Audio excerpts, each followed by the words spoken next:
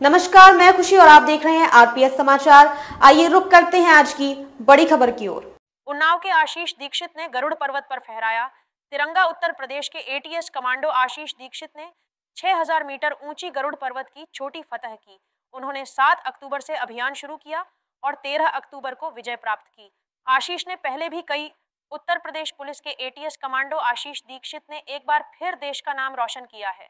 उन्होंने उत्तराखंड के चमोली ज़िले में स्थित 6000 मीटर ऊँची गरुड़ पर्वत की छोटी फतह कर यूपी पुलिस और भारतीय ध्वज फहराया। आशीष ने यह अभियान 7 अक्टूबर से शुरू किया था और 13 अक्टूबर को विजय प्राप्त की। देश सेवा का सपना देखने वाले आशीष 2015 में यूपी पुलिस में भर्ती हुए और कमांडो ट्रेनिंग लेकर एटीएस यूनिट में शामिल हो गए।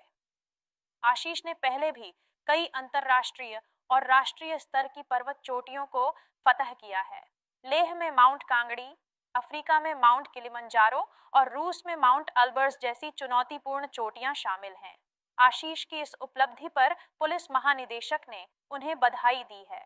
आशीष उन्नाव के कर्मी बिजलामऊ के रहने वाले हैं और वर्तमान में एटीएस लखनऊ यूनिट में तैनात हैं। रिपोर्ट आरपीएस समाचार।